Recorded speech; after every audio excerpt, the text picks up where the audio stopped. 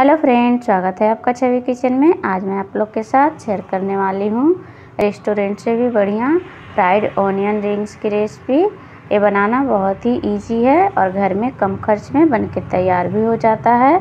इसी तरह के मज़ेदार रेसिपी देखने के लिए चैनल को लाइक और सब्सक्राइब ज़रूर करें और साथ में बेल आइकन को भी प्रेस कर दें ताकि नया वीडियो का नोटिफिकेशन आपको मिल सके।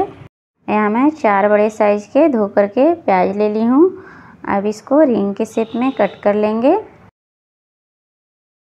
ऊपर का भाग को अलग कर लेंगे और प्याज को मोटा मोटा पीस में कट करेंगे। प्याज को मोटा मोटा पीस में ही कट कीजिएगा, तभी रिंग्स अच्छे बनेंगे। और ये पीछे का भाग को इस तरह से अलग कर लेना है। आप देख सकते हैं, इस तरह से मोटे पीस में कट करना है। प्याज काट के तैयार कर ली मैं। अब सभी रिंग्स को अलग अलग कर लेंगे। आप देख सकते हैं, इस तरह से सभी रिंग्स को अलग अलग कर लेना है। और ये बीच के भाग को अलग कर लेंगे। इसको आप किसी भी सब्ज़ी में यूज़ कर सकते हैं। अब एक बाउल लेंगे ऑनियन रिंग्स को बाउल में डाल लेंगे और दो से तीन चम्मच मैदा डालेंगे। या इसकी जगह आप कॉर्नफ्लोर भी ले सकते हैं। और इस तरह से ऊपर नीचे करते हुए कोटिंग कर लेंगे। प्याज चिकना होता है तो इसको पेटर में डिप करेंगे तो अच्छे से डिप नहीं होगा। मैदा या कॉर्नफ्लोर का कोटिंग कर लीजिएगा तो बेटर में अच्छे से डिप हो जाएगा। अब एक प्लेट में निकाल लेंगे, और इसमें जो नीचे मैदा बच गया है, इसी बाउल में एक कटोरी मैदा लेंगे, और थोड़ा सा बारीक कटा हुआ हरा धनिया, और चार पाँच बारीक कटा हुआ हरी मिर्च अब डाल लेंगे। एक चम्मच बारीक कटा हुआ लहसुन या कद्दूकस किया हुआ और आधा छोटी चम्मच भुना हुआ जीरा पाउडर, आधा छोटी चम्मच चाट मसाला, एक चौथाई छोटी चम्मच लाल मिर्च पाउडर। स्वाद के अनुसार नमक डालेंगे। अब थोड़ा थोड़ा पानी डाल करके बीटर बना लेंगे। एक बार में ज़्यादा पानी नहीं डालिएगा, बेटर पतला हो जाएगा। गाढ़ा बेटर बना के तैयार करना है। बेटर थोड़ा ज़्यादा गाढ़ा लग रहा है, थोड़ा पानी और डाल लेंगे। ये हमारा बेटर बन के तैयार हो गया। आप देख सकते हैं। मैं चम्मच से दिखा देती हूँ। इस तरह के बेटर बना के तैयार करना है। और अब ब्रेड क्रम्स लेंगे। आपके पास ब्रेड क्रम्स नहीं है तो ब्रेड से भी बना सकते हैं। ब्रेड के किनारों को चाकू के सहायता से हटा लेंगे। या आप चाहें तो नहीं भी हटा सकते हैं।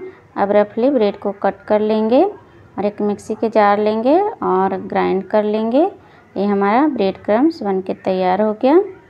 ऑनियन रिंग्स को बेटर में अच्छे से डिप कर लेंगे। इस तरह से आप देख सकते हैं। और अब रिंग्स को क्रम्स में डिप करेंगे। रिंग्स के ऊपर क्रम्स डालेंगे और हल्का हाथों से प्रेस कर लेंगे ताकि अच्छे से क्रम्स में डीप हो जाए। अच्छे से क्रम्स का कोटिंग हो जाए रिंग्स पे। इस तरह से आप देख सकते हैं। इसी तरह सारे ऑनियन रिंग्स में बेटर और क्रम्स का कोटिंग कर लेंगे। सारे ओनियन रिंग्स को क्रम्स में डिप करके प्लेट में रख सकते हैं। अब चलते हैं फ्राई करने। साइड में कढ़ाई में तेल गरम होने के लिए रख दिए थे। तेल गरम हो गया है। एक एक करके रिंग्स को डाल लेंगे। जितना कढ़ाई में आ सकता है, उतना आप एक बार में ऑनियन रिंग्स को डाल सकते हैं। और एक तरफ़ हल्का गोल्डन ब्राउन होने देंगे। थोड़ी देर बाद हल्का हिला लेंगे। एक तरफ़ गोल्डन ब्राउन हो गया। अब इसको एक एक करके पलट लेंगे। दोनों तरफ़ गोल्डन ब्राउन होने तक तल लेना है। ये हमारा ओनियन रिंग्स तल के तैयार हो गया। आप देख सकते हैं, बहुत ही अच्छा कलर आया है और देखने में भी बहुत अच्छा लग रहा है। इसी तरह सारे रिंग्स को तल के तैयार कर लेना है। सारे ओनियन रिंग्स तल के तैयार कर ली मैं। अब चलते हैं सर्व करने। इसे आप किसी भी चटनी के साथ सर्व कर सकते हैं। इसे मैं टोमेटो सॉस के साथ सर्व की हूँ। टोमेटो सॉस के साथ ये बहुत ही अच्छा लगता है खाने में। एक मैं खा करके दिखाती हूँ। आवाज़ से आप समझ सकते हैं कितना ही क्रिस्पी बन के तैयार हुआ है। आप भी ट्राई कीजिएगा और कमेंट करके बताइएगा आपका ऑनियन रिंग्स कैसा बना। ये हमारी वीडियो आपको थोड़ी सी भी हेल्पफुल लगी हो तो चैनल को सब्सक्राइब कर लीजिए। अब मिलते हैं नए वीडियो में नई रेसिपी के साथ।